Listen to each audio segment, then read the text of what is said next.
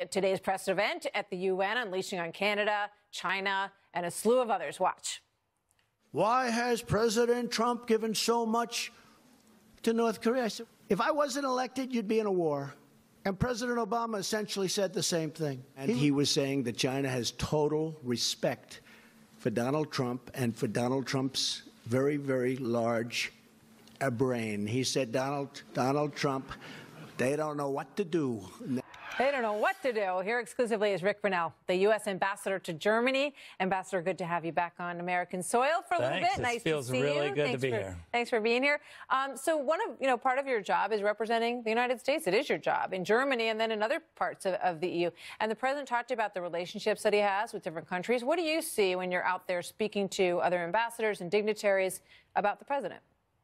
Look, I, I, think the facts are speaking for themselves. The, in Germany, for instance, they are seeing that we have 33,000 American troops. We just announced 1,500 more. So they're seeing the action of defense spending. They can deal with some harsh words because they know that they don't have submarines that work. They know that they don't have transport helicopters that work. They have a military that is completely not ready and they've been reliant on the United States. So when Donald Trump says, um, you know, you probably should have a military that's ready. They know that that's true, but no one has ever really said that that directly. The, the interesting part is just uh, NATO spending, for instance. That was the policy of President Bush, who I worked for. It was the policy of President Obama. Nothing changed.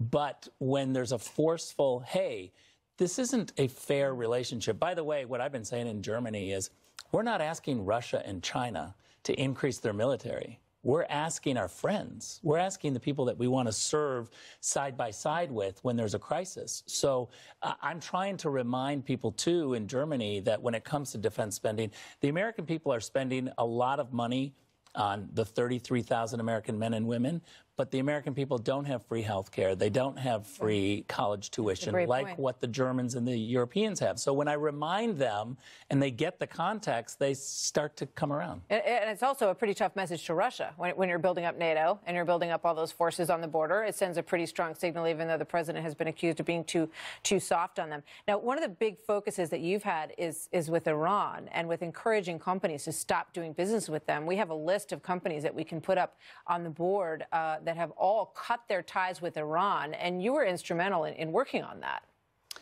They're not very happy about this, but look, this is a this is a, a, a an issue for me that's very personal. I worked on this issue inside the Security Council for eight years.